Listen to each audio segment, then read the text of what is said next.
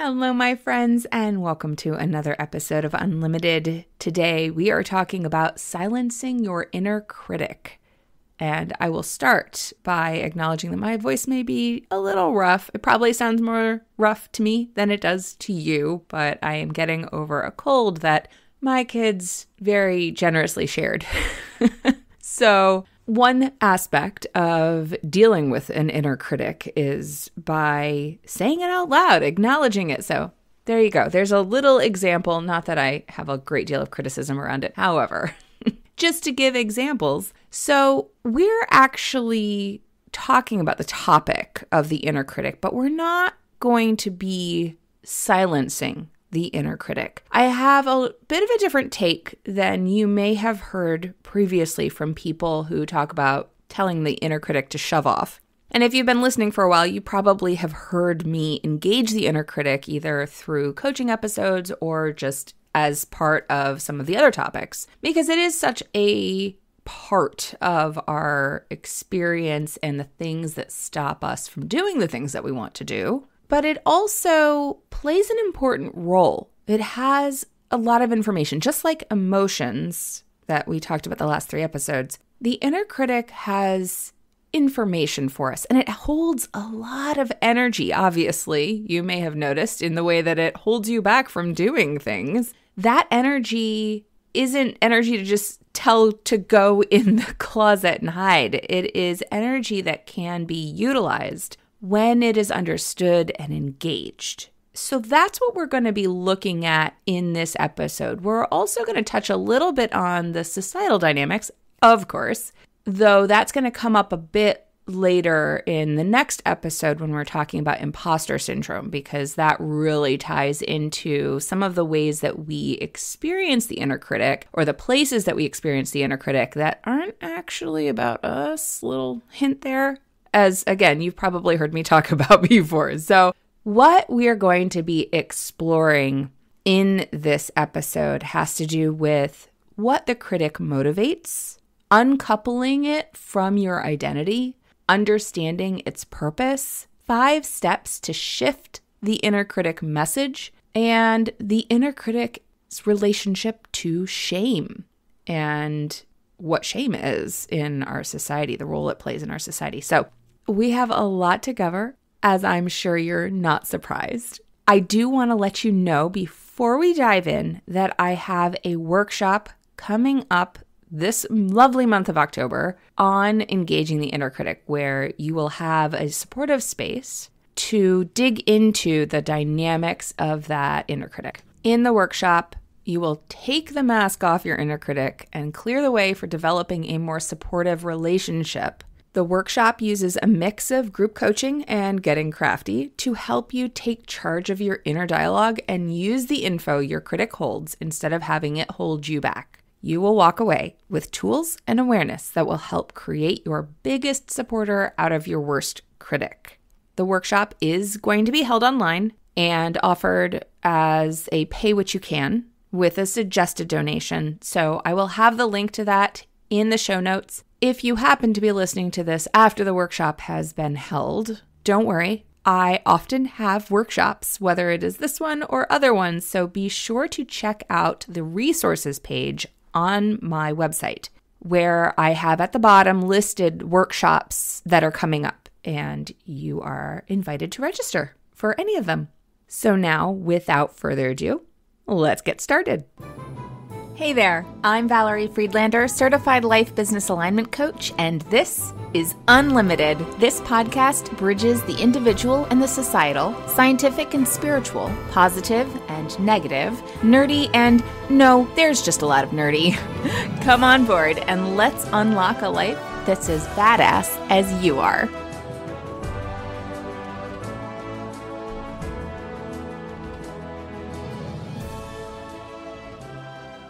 I want to acknowledge as we get started that there are layers of inner critic. There are levels, layers. The inner critic is multifaceted. There are components of the inner critic that are extremely debilitating, that relate to specific childhood trauma and need support, or I would encourage support from a trained professional like a therapist to dig in and do some healing work around that trauma. That said, there's also layers that we all experience from living in this society. And one could say from the trauma of living in this white supremacist, patriarchal, capitalist society. Anywho, I hesitate to use too much of the word trauma because because its overuse can create a sense of not being seen for people who have experienced direct specific trauma and it can also create confusion for people who haven't experienced that in terms of understanding what's going on for them. I've had several people who are like, I've had a pretty happy childhood and like not a lot has happened, and I don't understand why I am struggling with this. So I want you to know as we get started that there are layers, there are levels, there are dynamics of the inner critic. And the first piece of this is to not judge the experience that you're having. You are having an experience for a reason, and we don't always have to understand why you're having that experience. Sometimes it's just noticing what the pattern is and going, okay, this is what's going on. This is the experience, and releasing the need to understand the why of it. Just like how, why can feel too big, overwhelming. It can contain a lot of judgment in it and can kind of get us lost in the weeds. So I invite you to let go of the why for a little bit, as well as the how, and just be present to whatever's going on. The inner critic is generally created from some level of internalization of hurt. So, whatever you want to call that, it's some level of hurt. When we are hurt, we learn the patterns of harm on both ends, both the victim end, the person receiving the hurt, and the victimizer end, the person perpetrating the hurt.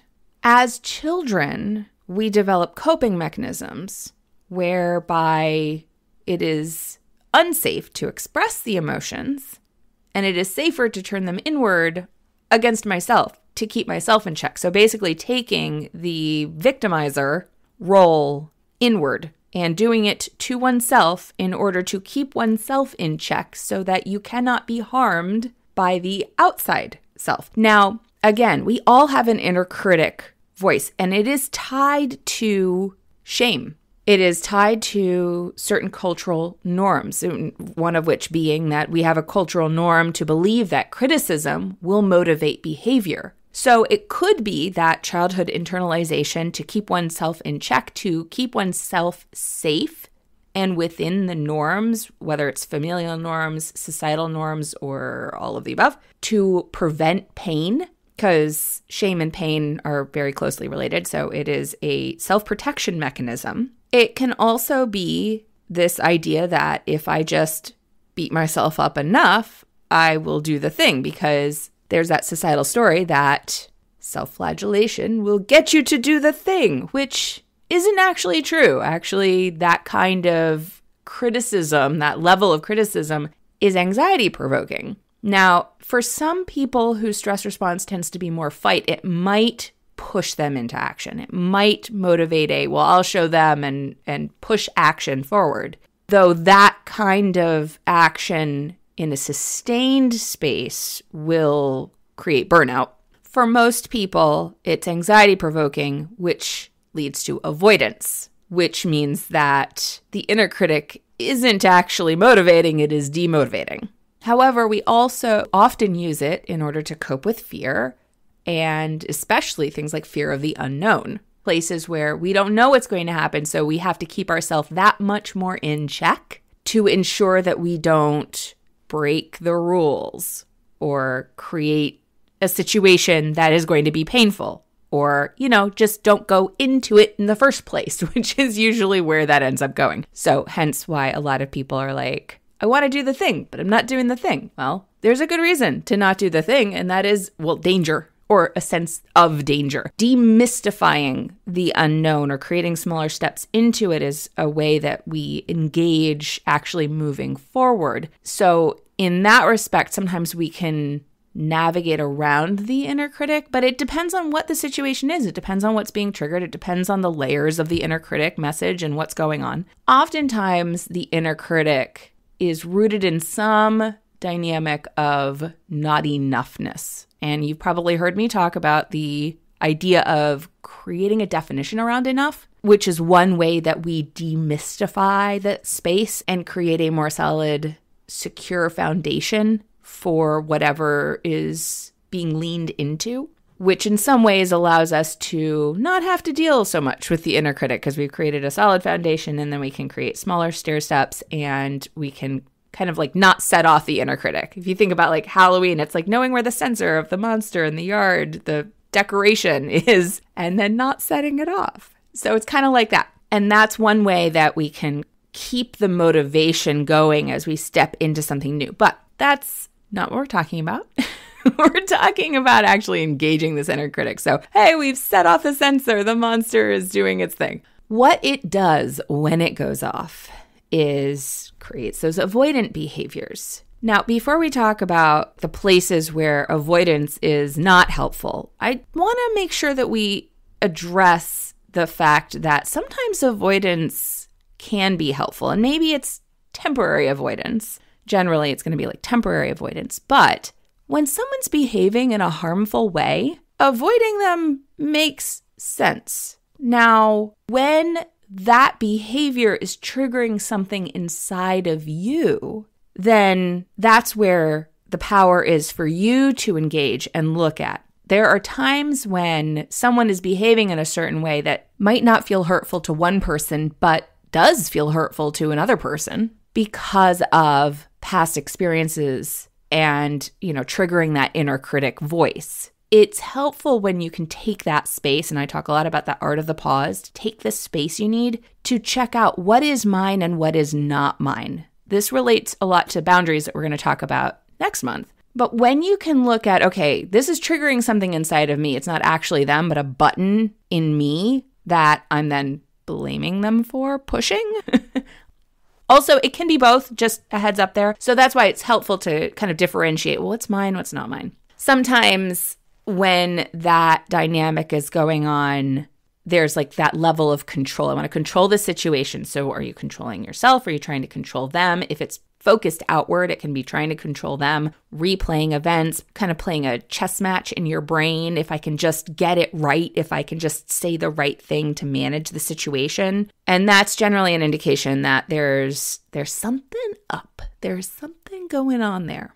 Now, some other places of avoidance that aren't related to necessarily blame of another person or the dynamics of another person, but perhaps more related to an activity or something that you're trying to do. You can notice where that avoidance is coming up. So, where a message might be playing when you're running into perfectionism, procrastination, those types of dynamics. And of course, perfectionism can be a form of procrastination.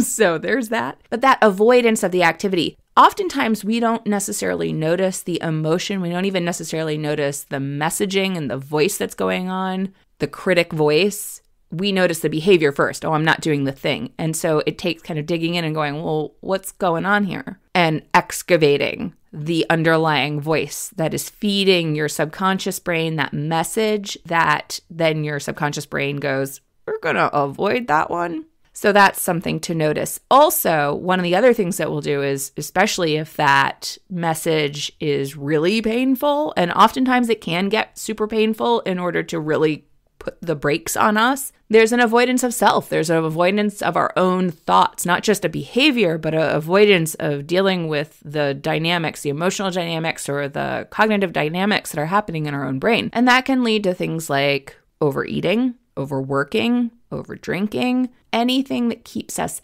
out of our head and focused on something else. These are coping mechanisms However, obviously, they can go into an unhealthy space that's creating harm in other aspects of our health, in other aspects of our life. So, being aware that these are indications that there's something underneath to be looked at. Not always is it helpful or healthy to look at these things by yourself. We are social creatures, and I'm going to be coming back to that a fair amount as I do, it's important to remember that even though there are a lot of things that are things that we can only do ourselves that are our inner work, inner work doesn't mean alone work. Having support, having people to hold space for you, even just hold space for you.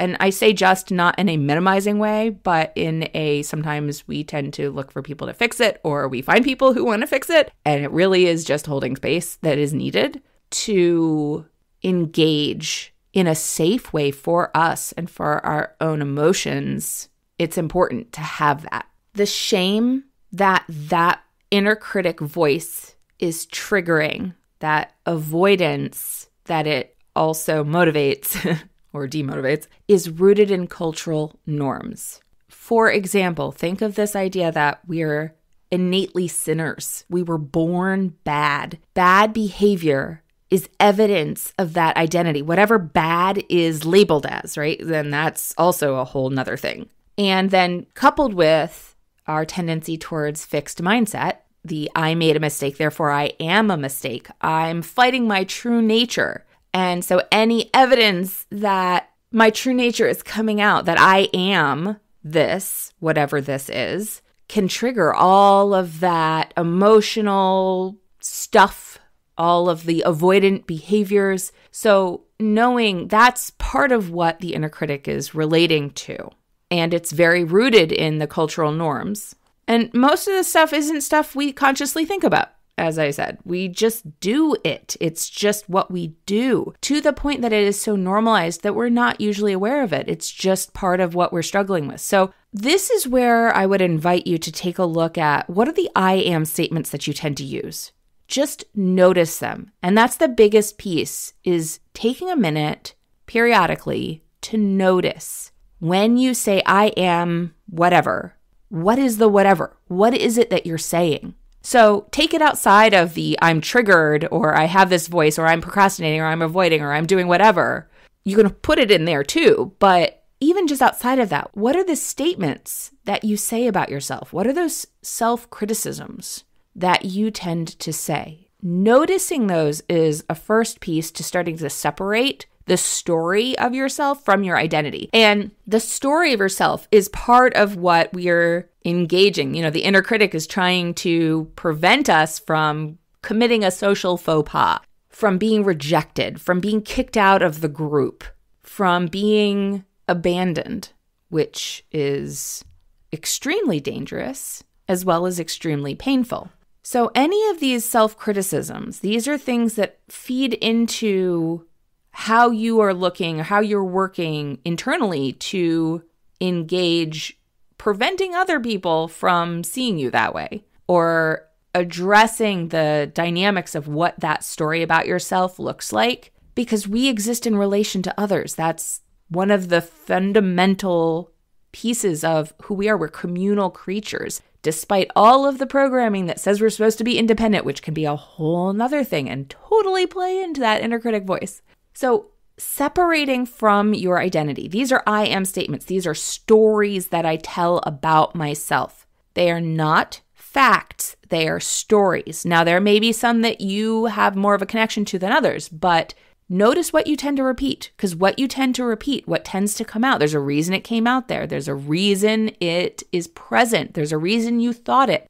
One flag here try your best not to beat yourself up over whatever the I am statement is. That can also create resistance to even noticing the I am statements because there can be shame and embarrassment around having them in the first place. Ah, so many layers. so just notice. That's it. Go, oh, that's interesting. You just try that. So, you know, like emotions, we're noticing first. Having a conversation first starts with noticing and acknowledging. In one of the emotions episodes, I talked about like the first part of starting to notice emotions is having, you know, they come in the room and you're like, oh, look. And then you acknowledge. And then you engage in conversation. We don't just jump to starting to talk and there's nobody there, right? We want to be like, oh, there, I see you. And the reason it helps to consider these I am statements is the more familiar you are with the story, as well as where the story shows up, the more easily you'll notice when that story comes into the room and takes a seat and ideally before it starts rearranging the furniture and stopping you from doing the things. So, noticing it first. Then we have five steps to silence the voice, or how I like to say, retrain it. One, we just covered, which is noticing the self criticism, noticing the voice. Two, say it in second person, like you're talking to somebody else. This is where you'll say it and you're like, wow, that is super mean. It is often where people will end. And this is, I mentioned this being a little bit different of an approach. Oftentimes people are like, it's just bad. Just tell it to shove off. Talk to it the way you would talk to somebody who said that directly to you. I am encouraging you not to do that because it, as I mentioned, it is there for a reason. It is trying to protect you from something. It is trying to keep you safe. There is a reason it is showing up. Now, whether that reason is actually needed is not the point yet. it is first acknowledging it. So, step three is what is the purpose of the voice?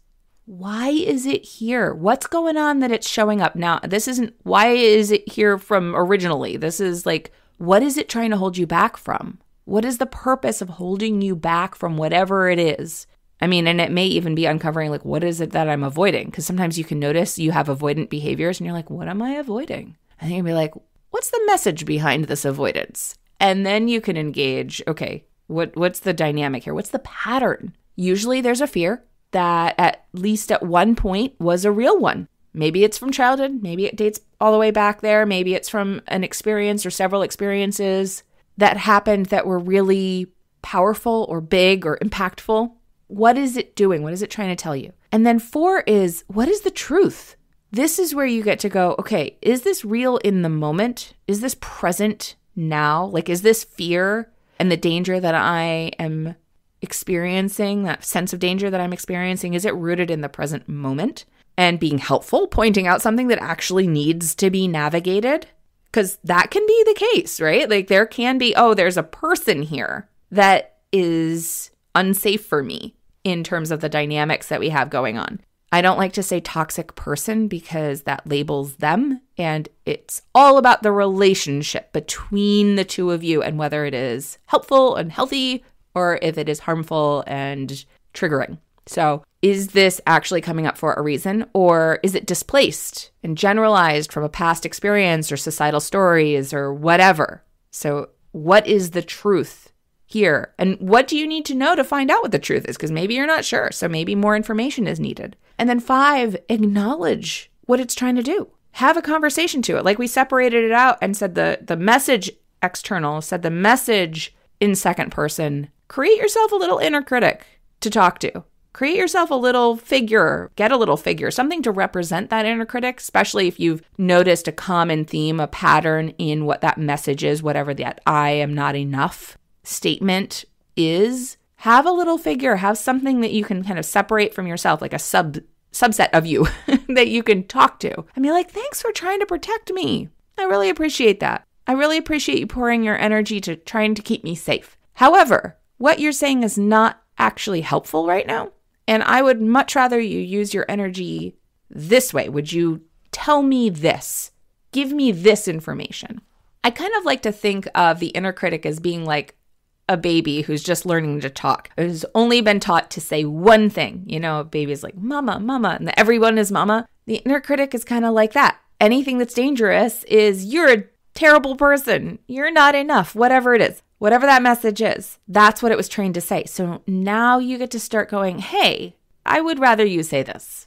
And essentially teach it to say something else. Now, that doesn't mean it's not going to say what it's used to saying, because it has been doing it probably for a while. But when you can notice it, you can understand what is the message it's trying to give me? What is it actually saying? What's the purpose? What is the truth? And then this is actually more helpful based in the actual truth.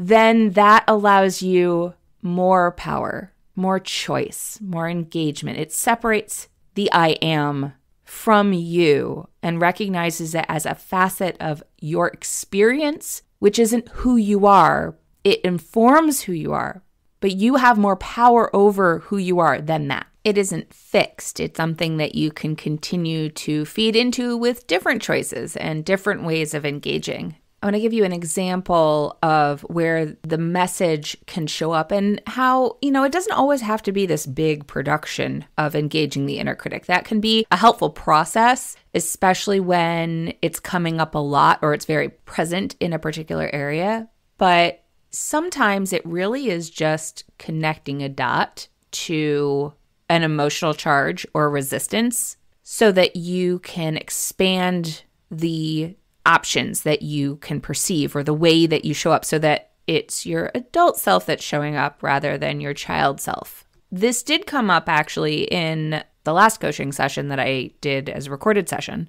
It also has come up with clients who are wanting to be visible in their business, but are struggling with that visibility. And sometimes it's blocking them putting themselves out there sometimes it's creating an emotional charge when they do put themselves out there and they don't get the immediate feedback that is reassuring. So, for example, this message that is, what if they see me and they still don't want me? And this has come up for clients when they put themselves out there, they did a big activity, and then they didn't get a response immediately and the messaging that, well, now they see me and they still don't want me.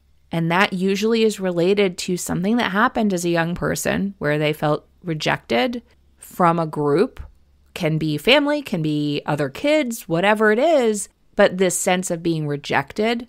And then, of course, the inner critic is like, ooh, see, you're not enough. So either blocking the initial action or popping up to trigger an emotional charge when the evidence is present. So rather than allowing the inner critic to go, look at this evidence, it's taking care of the self that was hurt by that in the past and looking at what is true in the present moment. And oftentimes it has to do with maybe the message wasn't quite right yet and it needs some evolving. Maybe it's an expectation that things will happen faster than they do or that other people will make decisions faster than they do. Whatever. There are lots of reasons. The adult you can go, okay, now what do we do? What do I need to know? What's the information so that I can do the next action? But the little you the one that the inner critic was charged to protect and may either be protecting such that you don't put yourself out there or may be even louder because of that failure to protect, quote unquote, failure to protect, such that you did the thing and then got hurt. And then it completely freaks out to be able to go, hey, you didn't fail. I chose to take this action and it's going to be okay. It hurt before. We were little and you know have a conversation about what happened. Care for the little mm-hmm. you that is having a tantrum and didn't have that support that she needed at the time to be okay who had to turn it inward and create that inner critic. Talk to her care for her. We're not putting her in the corner. We're not saying no that's bad. We're going hey you're here for a reason. You're getting loud. You're throwing a tantrum for a reason. And that reason isn't present anymore, but I know that it hurt before. As you've heard me talk about so many times, it's caring for yourself versus trying to control yourself. We are conditioned to shame ourselves into being a certain way to fit in with the norms of our society. And it's not healthy. They're not healthy. But we are social creatures, and so it's natural for us to do that. I want to give you another example that I came across when I was doing some research for this episode. Psych Central had a whole write up on working with your inner critic. And of course, I'll have all the links in the show notes. The person who wrote this article used an example that I'm going to share with you, and I'm going to tell you my issue with this example. The example is that Jessica went shopping. She didn't know her sizes at this store and tried on a few things. She thought, ugh, these clothes are tight. They don't fit. I feel like such a failure. I'm so fat and ugly. What is she afraid of? Quote, I've gained weight, which means I'm a failure. It means I'm old. I'm ashamed and scared of getting older and gaining more weight. What authentic feelings might she be having about the situation that aren't related to shame triggers? What are her vulnerabilities? Identify your vulnerability and feel those feelings. Jessica says, quote, I feel out of control, fear, grief, loss. My body is reacting differently than it did in the past. It's harder to maintain weight and muscle tone. It feels hopeless. I feel afraid, overwhelmed. What do you really need? Jessica says, quote, I can deal with it. Acknowledging my vulnerability prompts me to take better care of my health. When I feel worthless, there's no hope at all. Shame is not motivating. So if you've been listening to me for a little while, again, you probably already see some of the flags that I might point to. But what I want to address here is this process is important. However, what is missing from this assessment is the societal component of shaming. And this is the next piece that I want to tap into briefly because we're going to dig more into it in the next episode is that messaging and the rules and the norms that the shame is upholding. So the feelings are feelings that definitely deserve space to acknowledge and engage. Feeling out of control, fear, grief, loss as your body shifts is totally understandable. Most of us experience that. Likewise, the desire to enjoy your body and feel good in your body. What is missing in this assessment is the societal influence of the messaging, of the story of what is acceptable, and why that sense of fear might be present. It's not just a response to a changing body, it is a response to real societal conditions that can lead to being rejected and becoming unsafe in the world that we exist in. So, this is where, again, I really encourage you don't shove your inner critic in the corner. She is there because she has something she wants you to look at. What she is pointing to and the words that she is using are often unhelpful. They relate to some internalization of something, an over a generalization, but that doesn't mean that there's not something real to look at. As I've said before, and I will say again, mindset is everything, but not everything is mindset. And this is a great example of that, where shifting your mindset about something in terms of how you look at yourself and what you feel like you have access to and where you feel like you have power and can engage in choice to have that power, even if it's just looking at something differently, is important. It doesn't change everything though. Fat phobia in our society, body shaming in our society, anti aging in our society, all of those things are real things that can limit access to spaces, to resources, to choices, shifting your mindset about what's going on and looking at it from an adult perspective can help you navigate those situations to find what you need to be able to be okay, to be able to take care of yourself or be taken care of as needed. Taking it out of the internalized messaging allows the space for that awareness. So that's part of the mindset piece. It doesn't change the societal piece, but it allows you to engage the societal piece with more power. It's also important to recognize that all of these dynamics are based in our relationships. Our identity is in relation. So while we do need to take out that piece of like, I am these things, separate those from that internalized narrative, we naturally are going to be impacted by other people our identity is in relation. We are part of a society. A while back, I mentioned the film In and of Itself on Hulu, which I think is a great exploration of that aspect of relationship and who we are. We are not meant to be fully self validated. So if you are impacted by other people and a perceived rejection or a real rejection, that is normal. And there is nothing wrong with you. We do need validation from external to ourselves as well. So if your inner critic is screaming, part of what it might be saying is you need people around you to lift you up and support you. And that's okay. We're going to dig into some of those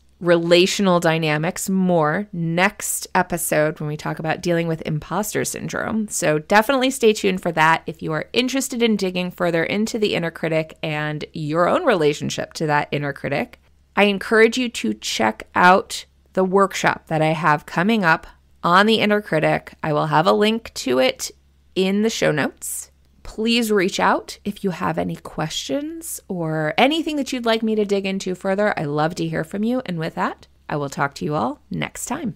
Thanks for listening. I so appreciate you being here. If you got something out of today's episode, please share it. Leave me a review, take a screenshot, and post it on social with a shout out to me. Send it to a friend, or, you know, all of the above. Want to hang out more? Join me on Instagram. Or better yet, get on my mailing list to make sure you don't miss out on anything.